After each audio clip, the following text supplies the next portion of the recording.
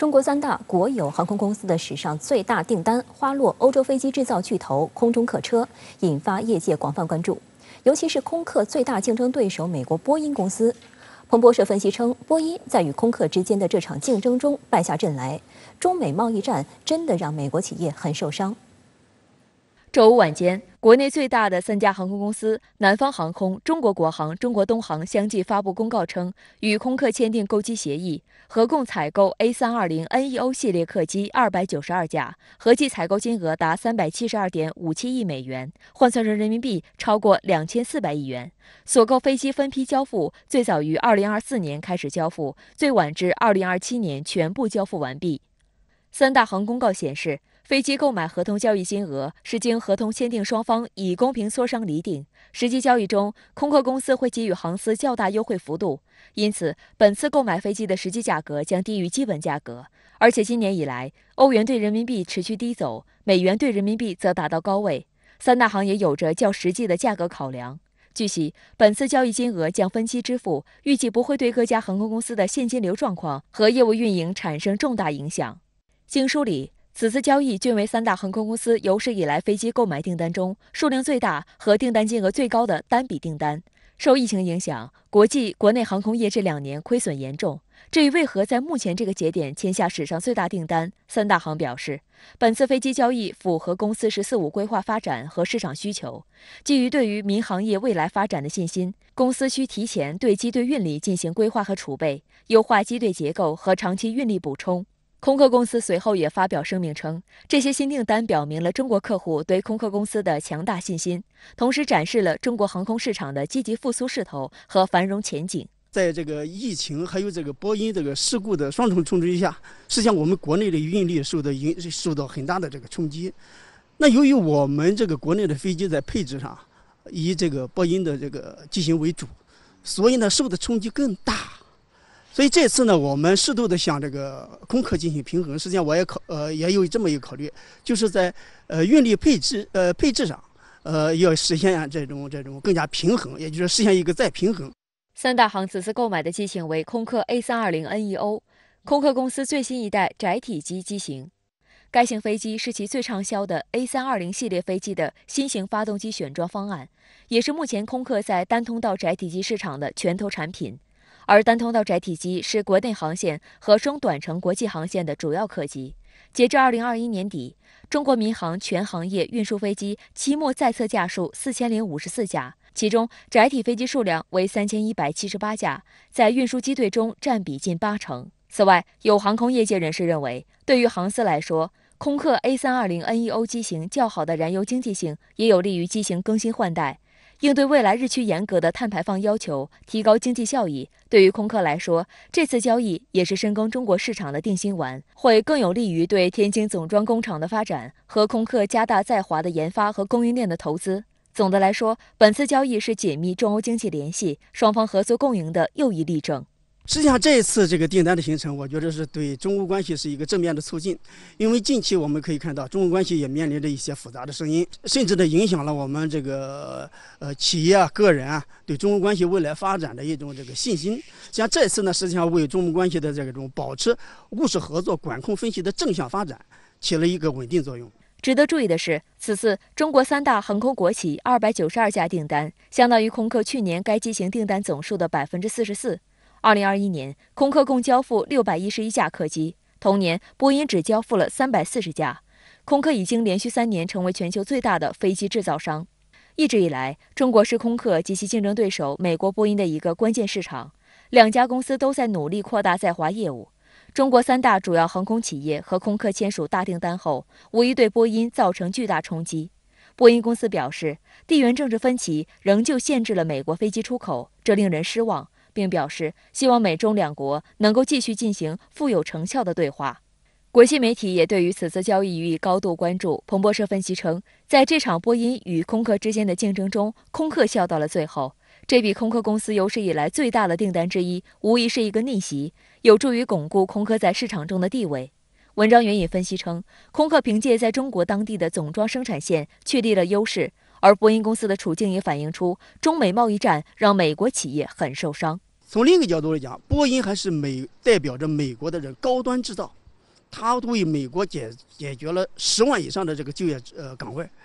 也就是说，你看，如果它这个呃在这个国际竞争中处于弱势的话，它对它国内的制造业，也就是说，包括特朗普政府到现在拜登政府的急于修复的这种美国国内制造业是多么大的冲击，也向这个美国的这个政客一个提醒吧，就是要要看到。中美经济贸关系的这种相互依存性和互利性。波音公司完全将竞争失利归咎于所谓地缘政治分歧，显然并不符合事实。作为空客公司 A320neo 的竞争机型，波音公司的波音737 MAX 系列，由于两起致命空难而导致全球停飞。中国的三大航空公司加上山东航空、深圳航空等航司，目前有96架737 MAX 在机场停放着，还有一百多架在波音公司的停车场封存着。从某种程度来看，这次中方航司对空客的二百九十二架 A320NU 系列客机新订单，也是在填空波音737 MAX 继续停飞的运力空档。所以，美方一味的从地缘政治角度来炒作中欧之间的民航采购合作，无助于解决在中国市场份额下滑的现实困境。此外，中国国产大型商用客机 C919 也和空客 A320neo 及波音737 MAX 属同级别的单通道窄体客机。三者存在商业竞争关系，那么此次中国三大航空公司签下空客 A320neo 的大订单，是否会冲击今年开始交付的 C919 呢？有分析指出，此次292架的订单量相当于疫情前全行业一年飞机引进数量，飞机将分四到五年交付，总数量上还不能满足未来几年航司的运力需求，未来国内的航空公司也还需要购买更多的飞机。另据波音公司去年发布的民用航空市场展望，未来二十年，中国需要近六千五百架波音七三七、A 三二零、C 九幺九级别的单通道飞机，以满足市场扩大和替换旧飞机的需求。所以，几百架进口客机还不至于冲击 C 九幺九的销售。中国三大航空公司同时与欧洲空客签订购机超级大单，总价达三百七十二亿美元，折合两千四百亿元人民币。那么，您觉得为何引发世界关注呢？主持人好，这是一个大的商业订单，三百七十二亿美元，能够给出这个大订单的用户少，能够承接这个大订单的公司呢就更加幸运。空客一下子能得到中国三家民航公司的订单，自然呢会让人羡慕嫉妒。空客的竞争对手波音呢都坐不住了，不谈商业，而在说地缘政治问题了。中国民航呀大手笔购买空客，之所以呢让世界刮目相看，我觉得有三重含义。一是中国正在新冠疫情后的经济增长而准备，展示了这个中国呀航空市场的积极复苏势头和繁荣前景，这与欧美目前的这个经济衰退担忧呢正好相反。二是中国企业在选择合作伙伴时，那么在技术安全和性价比上呢有更多的考虑，购买空客比较划算而且安全。三是大的商业订单呢，在地缘政治上呢的确是自带流量。给世界一种指向，在美国政府不断制约中国，甚至动员西方盟国和亚太盟国来围堵中国、阻碍中国发展。那么，在这种背景下呢，中国企业自然也是会考虑政治因素的。当你面对两个旗鼓相当的供货商的时候，一个呢对你很友好，另外一个老在说你的坏话，你自然呢，哎，会怎样下单的？呃，所以啊，这个波音公司抱怨地缘政治风气影响了飞机的出口。是有一定道理的，这主要呢是提醒美国政府不要在遏制中国上走得太远了，否则呢就会影响美国企业利益，进而影响这美国人的就业。那么按照波音公司的说法呀，因为给中国出口波音飞机解决了美国几万个工作岗位，我个人认为呢，这笔商业大订单或许呢会引发欧美政界的反思，特别是美国政界，在与自己价值观不同的国家交往的时候，是选择合作共赢。还是继续损人不利己的争斗和制约。波音抱怨中美地缘政治差异损害了该公司的业务前景，并敦促华盛顿与中方对话。那么，您认为中美关系能够改善吗？无论是波音公司还是其他美国公司，都经受着中美关系恶化带来的负担和麻烦。而中美关系恶化的主要责任呢，在于美国政府。无论是特朗普政府发起对华贸易战，还是拜登政府把人权和贸易挂钩，有所谓印太战略，从经济和安全上遏制中国，都是有违市场经济原则的，与全球经济一体化相悖。那么说到底呢，它是自私自利、维护霸权的行为。空客的这笔商业订单呢，也许会敦促拜登政府反思，这个中美间呢，是不是可以公平的竞争，按照市场经济原则竞争，而不是要加入过多的政治因素、意识形态因素，不能呢总是疑神疑鬼的。我觉得德国大众汽车的 CEO 迪斯呢，最近有一个访谈就说的很好，跨国企业啊的运营呢，就是东西价值观呀双向交流的过程。西方企业呢，应该把东方价值观带到西方，而不是一味的把西方价值观推进到东方。德国也是一样，严重低估了中国给德国繁荣做出的贡献。如果德国呢要与中国脱钩，德国呢就会完全的不同，德国的增长、繁荣和就业就会少得多。那么波音公司的意见呢，和大众汽车呢是一样的，就看这美国政府呢能不能幡然醒悟。我们再看一下荷兰首相吕特呀对美国限制新疆产品的表态，他呢反对因美国对香港和新疆政策而重新考虑与中国的贸易关系。他说呢，与中国发生贸易争端将让荷兰呢会付出高昂的代价。我想空客的大订单呢可能会形成冲击波，在欧美政商界引发反思，究竟呢该怎样正确的看待中国，怎样看待中国市场，怎样与中国交往？国务委员兼外长王毅周日正式开启东南亚多国访问行程，除了对东南亚四国进行正式访问，还将主持并出席一系列多边和双边活动。目前，王毅已抵达缅甸，于周日主持蓝莓合作第七次外长会。周六，王毅乘专机抵达缅甸古城蒲甘，并主持蓝莓合作第七次外长会。这是时隔近一年半，王毅再次到访缅甸。缅甸媒体报道。会议将评估由2018年开始的蓝莓合作五年行动计划进展，并会讨论如何扩大各国之间的合作，加强联系和支持。蓝莓六国指的是缅甸、老挝、泰国、柬埔寨、越南和中国，也是澜沧江湄公河上下游同饮一江水的六个国家。外交部发言人赵立坚周五介绍，蓝莓合作是首个由流域六国共同发起和建立的新型次区域合作机制，启动六年来。蓝莓六国本着互利共赢、共谋发展的合作初心，不断深化各领域务实合作，打造了区域合作的金字招牌，为地区发展持续注入源头活水。中方期待此次通过此次外长会，进一步巩固政治互信，总结合作经验，规划发展蓝图，推动蓝莓合作不断提质升级。市内卫视记者注意到，蓝莓合作启动以来。一直将水资源合作作为优先方向，六国机制化举办蓝莓水资源合作部长级会议和论坛，成立了蓝莓水资源合作联合工作组，设立了蓝莓水资源合作中心，积极推进水资源领域协商对话、经验交流和项目合作。中国作为上游国家，充分发挥澜沧江水利工程调峰补枯作用，尽最大努力保障合理下泄流量。多次应湄公河国家需求提供应急补水。二零二零年，中国正式向湄公河国家提供澜沧江全年水文信息，开通蓝莓水资源合作信息共享平台网站，以实际行动帮助下游国家应对洪旱灾害。过去六年，蓝莓合作经受住了国际地区风云变幻、洪旱灾害、气候变化、非传统安全、新冠肺炎疫情等多重考验，开展了五百多个利民惠民项目。新冠肺炎疫情爆发以来，中国与湄公河国家守望相助，共克时艰，携手促进经济增长。二零二一年，中国与湄公河国家贸易额达三千九百八十亿美元，同比增长百分之二十三，为促进区域繁荣振兴、增进各国民众福祉作出重要贡献。周日，王毅还同缅甸外长温纳茂伦举行双边会谈。王毅说：“中方珍视两国传统友谊。”将坚持面向全体缅甸人民的对缅友好政策，愿同缅方落实好习近平主席历史性访缅成果，筑牢政治互信、合作互利、民心互通、人文互鉴四大支柱，推动中缅命运共同体建设不断迈上新台阶。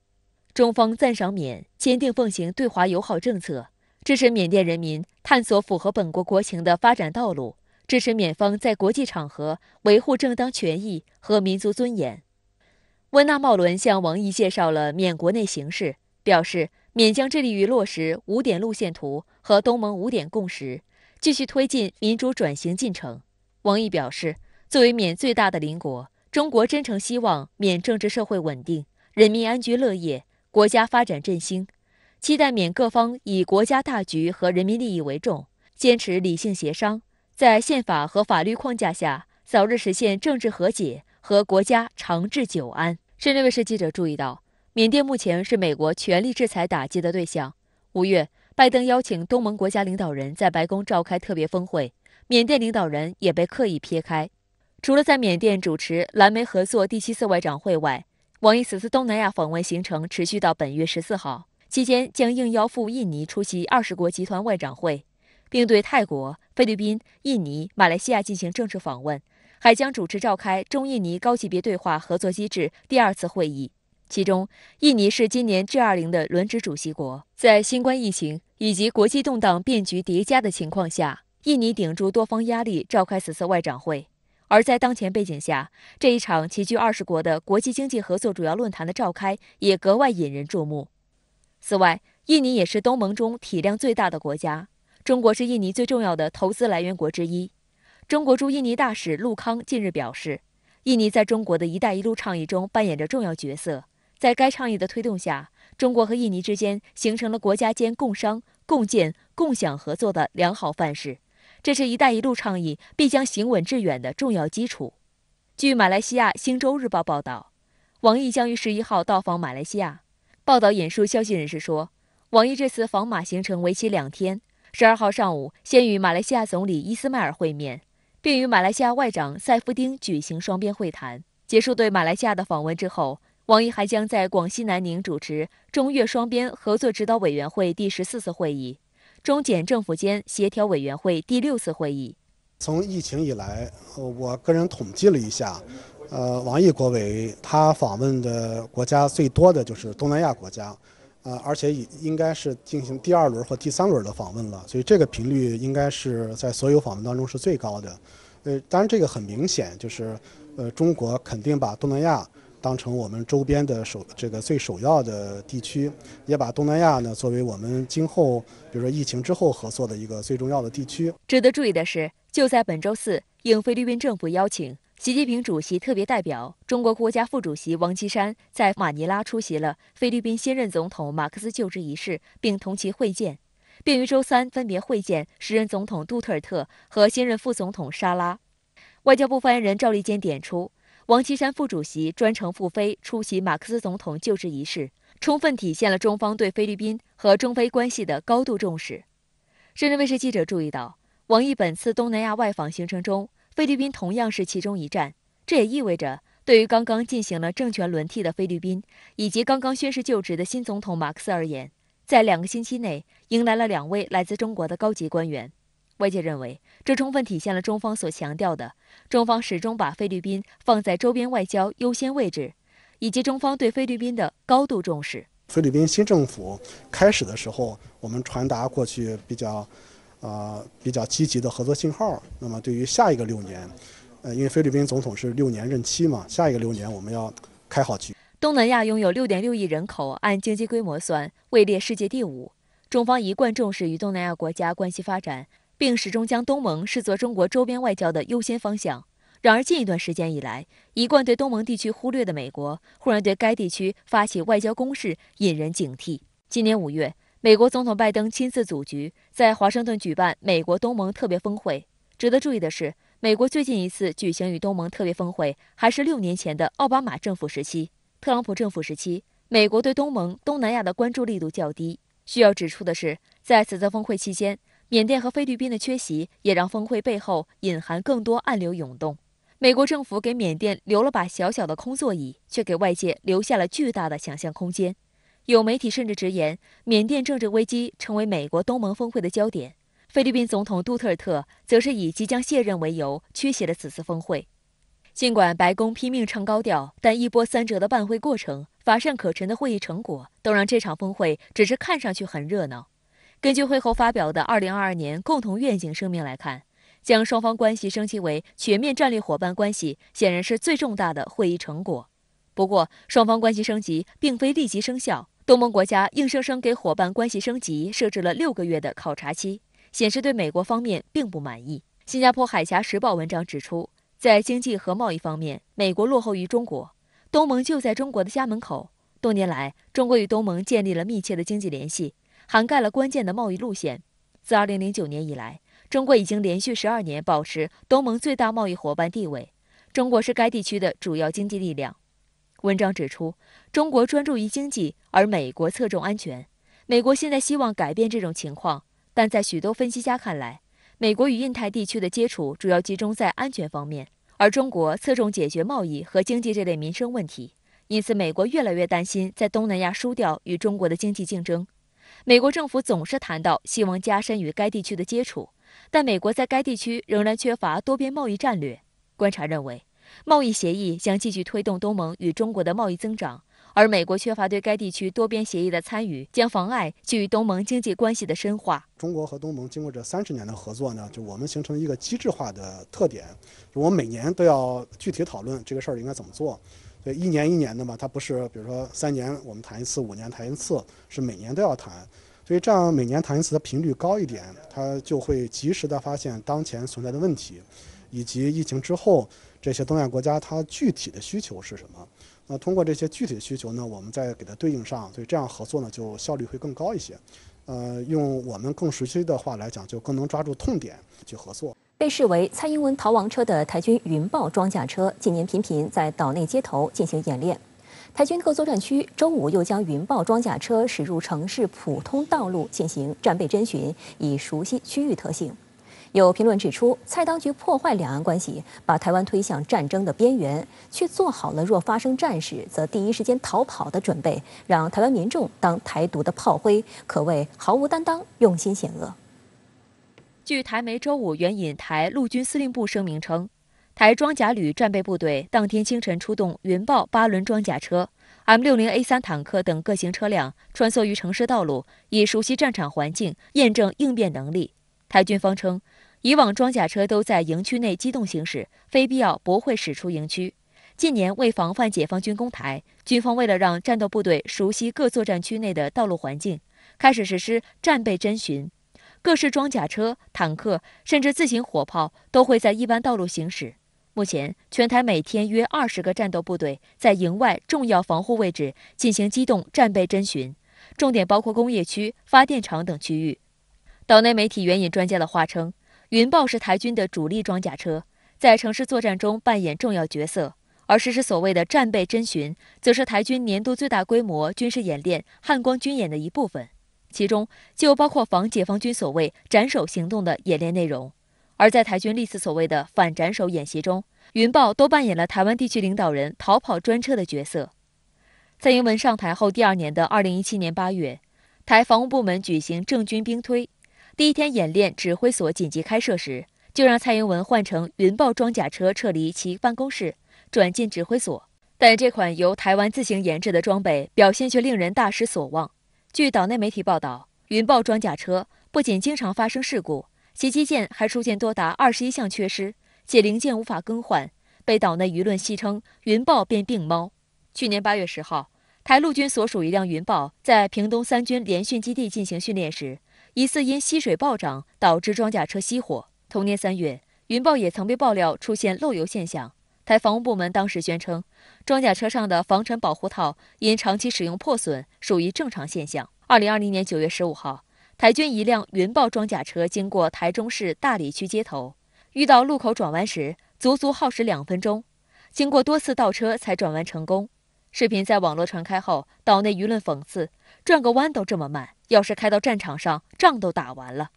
分析指出，近年来蔡当局破坏两岸关系，制造对立。正在把台湾推向战争的边缘，但另一方面，蔡英文自己早就制定了多种逃跑计划，云豹只是其中一个选项，让其频繁参加演练，不过是蔡英文惊弓之鸟的心虚表现，自我壮胆罢了。云豹车体型巨大，虽然机动性强，但在都市区来运行的话，其实也是挺暴露目标的。从台北闹市区撤离时，必须依托特定线路，因此他们的运用还是有条件限制的。台湾民意基金会最新调查显示，超过一半民众认为，大陆如果武力攻台，台军撑不过一百天。同时，超过一半的台湾民众不相信美国的协防承诺。对此，国台办发言人马晓光上周表示，近年来岛内讨论两岸关系紧张的气氛和热度都在上升，甚至讨论所谓“武统”或者战争的议题。这种现象反映了台湾民众、台湾社会对民进党当局谋独挑衅所带来的危险性和危害性的深层次担忧。他强调，我们坚持和平统一、一国两制的方针政策没有变，两岸同胞都是中国人，台湾同胞是我们的骨肉兄弟。没有谁比我们更愿意以和平方式实现祖国的完全统一，但对于胆敢分裂国家主权和领土完整的台独分裂行为，我们绝不会坐视不管。除了演练，台军近来也没闲着，还要忙着为民进党当局收拾烂摊子。自从大陆因检出禁药和土霉素超标，宣布暂停进口台湾石斑鱼以来，台农业主管部门呼吁台湾民众多吃石斑鱼。台防务部门也透露称，为配合行政部门推广促销，今年已采购一千五百四十八公斤石斑鱼，加入台军官兵的日常菜单中。对此，中时新闻网的评论文章指出，老打军队的主意有点不切实际。文章算了一笔账，石斑鱼一公斤目前批发价约三百元新台币左右。假如一餐每个士兵摄取一百克，一百人的连队就要采购十公斤，约三千元新台币。台军目前伙食费每人每天约一百元新台币，一百人连队菜钱每天也就一万元新台币。若要配合吃石斑鱼，一道菜就要一天伙食费的三分之一，基层单位必定吃不起。台湾媒体称，协助农民采购盛产或滞销的凤梨、柳丁等水果，台军也还可以支应，但是高单价的石斑鱼却是强人所难。注销石斑鱼，台军吃不起。台湾的农渔业。是和大陆的市场紧密相连，而且是各得一章的。现在以摊派的形式让岛内消化，无疑是缘木求鱼。还是那句话，台湾的农渔业也好，甚至整个的台湾经济也好，它的前途只能依托于与大陆的紧密联系。来关注俄乌冲突最新进展。俄罗斯国防部周日发布消息称，防长绍伊古向总统普京汇报了控制卢甘斯克地区的情况。并表示，俄军与卢甘斯克武装目前已经完全控制了利西昌斯克市及其周边各居民点。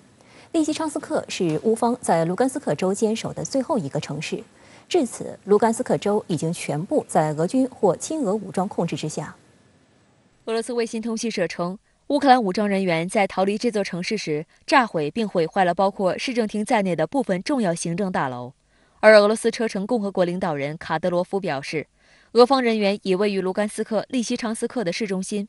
卢甘斯克武装周六称，俄军和卢甘斯克武装部队已进入利西昌斯克中心地带。根据卢甘斯克武装当天发布的视频显示，利西昌斯克政府大楼已被俄军和卢甘斯克武装部队控制。乌克兰方面则宣称，利西昌斯克尚未落入俄军手中，但守军承认正在撤退。乌克兰总统顾问阿列斯托维奇周六曾称，俄军仍未进入利西昌斯克。但他是否会失去它，可能在周一揭晓。但从俄方声明来看，情况进展比他想象中更快。那如果拿下利斯昌斯克，代表了整个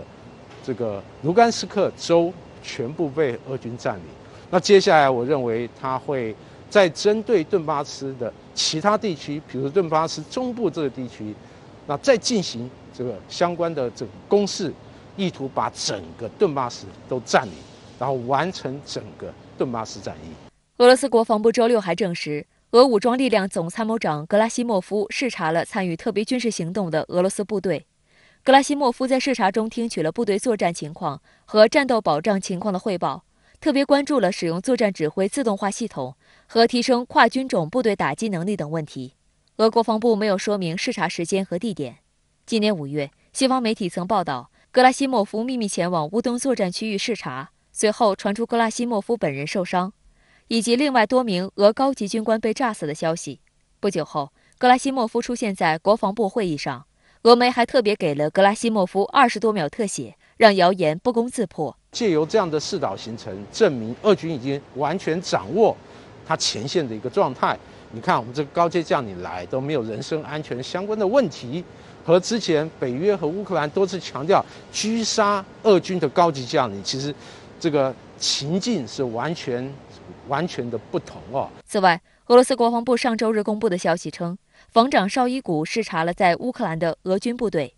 绍伊古在视察期间听取了军事行动指挥官们对主要作战地区的行动报告。他要求为参与特别军事行动的人员提供所有必须的生活保障。俄军所呈现的状况与战争初期确实有很大的不同。最明显的就是，俄军虽然进展哎相对不是那么迅速，但它的进展是有节奏的，显示俄军在整个战场的掌握度，我认为有大幅的提高。两位这个国防高层负责人相继访问乌克兰前线，那确实，其实他释出的讯号和近期刚结束的北约峰会。哎，我认为有密不可分的关系，也就是，呃，双方高来高往。战况方面，俄罗斯国防部周日发布的简报称，俄罗斯防空系统在过去一昼夜击落了两架乌克兰苏 -25 攻击机和十架无人机。俄罗斯防空系统拦截了八枚多管火箭炮炮弹，其中在卢甘斯克拦截了四枚海马斯多管火箭系统的炮弹，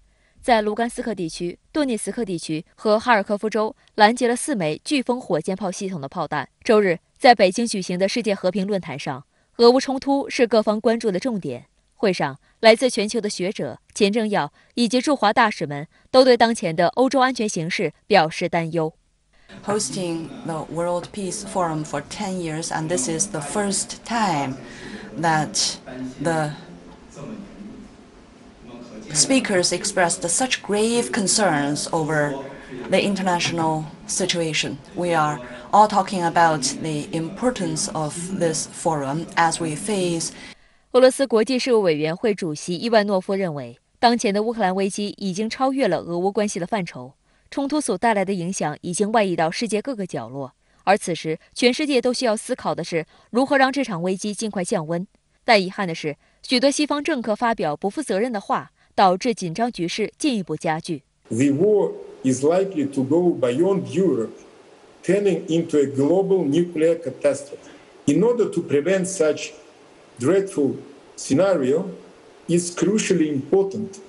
to restore the old communication lines or to set up new ones between political and military leaders on the two sides in order to start a meaningful substantive dialogue. 周六，英国《旁观者》杂志刊登了对美国前国务卿基辛格的专访。基辛格再度谈及俄乌局势，他的最新研判是，俄乌冲突有三种可能的结果。 第一种结果，如果俄罗斯保持现状，将征服乌克兰百分之二十的领土和顿巴斯大部分地区，以及控制黑海沿岸的一块狭长地带，这将是俄罗斯的胜利。在这种情况下，北约的作用将不会像此前认为的那么有决定性。第二种结果，尝试将俄罗斯赶出在特别军事行动前获得的领土，包括克里米亚。他说：“这将导致冲突升级。如果战争继续下去，就会出现与俄罗斯本身开战的问题。”第三种结果，基辛格说：“就如他此前在达沃斯论坛所说的那样，战线回到俄乌冲突开始前的位置，俄罗斯与乌克兰恢复二月二十四号前的局势，剩下的问题可以留给谈判解决。大概局势将冻结一段时间。”基辛格的当时的这番言论被乌克兰视为呼吁割让土地换和平。乌总统泽连斯基随后向基辛格开炮，称乌克兰绝不会接受，并将战斗到夺回所有领土为止。相关话题来连线特约评论员吴卫，吴先生您好。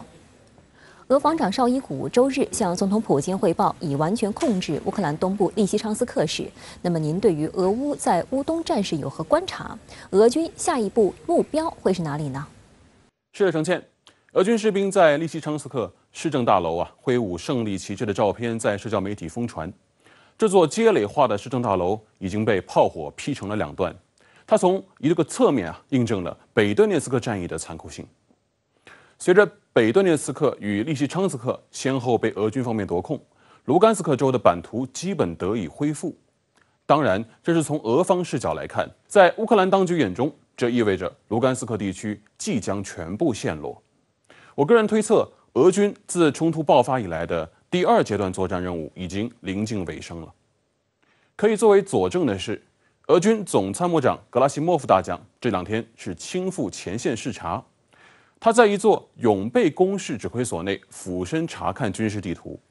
虽然这张地图被俄方打上了厚厚的马赛克，但我们可以合理推测，这大概率是最近几天俄乌双方在北顿涅茨克一线的敌我态势图。随着利西昌斯克易主，摆在格拉西莫夫面前的一个问题，恐怕也是国际舆论广为关注的，那就是俄军的攻势矛头下一步将指向何方？会有所谓的第三阶段作战任务吗？我试着代入，呈现在格拉西莫夫将军面前的态势是这样的：随着马里乌波尔战役与北顿涅茨克战役先后以俄军的胜利告终，卢甘斯克州基本收入囊中，顿涅茨克州则被一分为二。沿着东西延伸的 E 五零公路南侧至马里乌波尔一带由俄方控制，北侧至斯拉夫扬斯克一线由呃乌克兰方面控制。随着北顿涅茨克、利西昌斯克先后丢失，乌军残存力量西撤至塞夫尔斯克，在这里与南面的阿特莫斯克、康斯坦丁、红军村互为犄角，形成了一个环形防线。拱卫乌克兰在这个方向最后的战略支撑点，也就是斯拉夫扬斯克、克拉马托尔斯克这对双子城。也就是说，假设俄军下一阶段目标是所谓恢复顿涅茨克州的版图，那么眼前的这条乌军环形防御地带是他们必须突破的。这恐怕是一场比北顿战役规模更为庞大且残酷的正面对决。那么，您认为这场预测中的对决是否真的会在未来打响？俄军真能一个阶段接着一个阶段打下去吗？这个问题问到点子上了。我愿将它归纳为一个更为抽象的概念，那就是谁在掌握战场的主导权。具体投射到当下的东乌战局，我认为俄军一直将战场主动权牢牢握在手中，尤其是第二阶段作战以来啊。俄军采取了稳扎稳打的策略，集中优势兵力与优势火力，将复杂问题分解为多个小问题，一个一个解决。一方面尽可能减少攻坚战带来的大量伤亡，另一方面通过切割战场，将乌军经营八年之久的城防工事分割为多个街区，凭借火力逐一攻克。当然，俄军是否会马上发起下一阶段作战，依然受到几个关键因素的制约。首先是兵力的使用，经过北顿涅茨克一役，俄军与顿卢民兵武装的精锐力量在这一线打了两到三个月高强度的拉锯，人员装备急需休整，尤其是前段时间的马里乌波尔战役，令顿涅茨克的民兵武装元气大伤，这口气还得喘一阵子。其次是战场的态势，若张开一张更大的地图，我们会发现整个俄乌冲突啊。在乌克兰东部地区呈现出了一个巨大的漏斗形状，西起赫尔松，东至北顿涅茨克，北至伊久姆、哈尔科夫方向。俄军为了实施北顿战役，将精锐力量与重兵集中在了这个漏斗的尖头处。这意味着，在其他战役方向上，俄军是处于守势的。乌克兰方面并非看不懂这个战场态势，基辅当局啊非常清楚。俄军想要拿下顿涅茨克州全境的战役规划，更何况在北约的军事情报支持下，俄军的兵力调动其实处于一种半透明的状态。因此，基辅当局非常清楚，俄军在其他方向上是有相对薄弱环节的。为了阻挠俄军实现下一阶段目标，乌军完全有可能。在哈尔科夫或者是赫尔松方向这个漏斗的两端发起牵制战役，让俄军在南北两端战线承压的情况下，不敢轻易投入机动兵力，在斯拉夫扬斯克方向上发起一场大规模的进攻。当然，我们也必须意识到，决定战场主导权的还有许多战场之外的因素，这恐怕是一张更大的棋盘，有外交博弈，有经贸冲突，有国家领导人之间的。战略对赌，而坐在这张棋盘两端的，恐怕是整个北约集团与俄白两国。当战场发生新的流变，它往往意味着一场新的外交博弈也要打响了。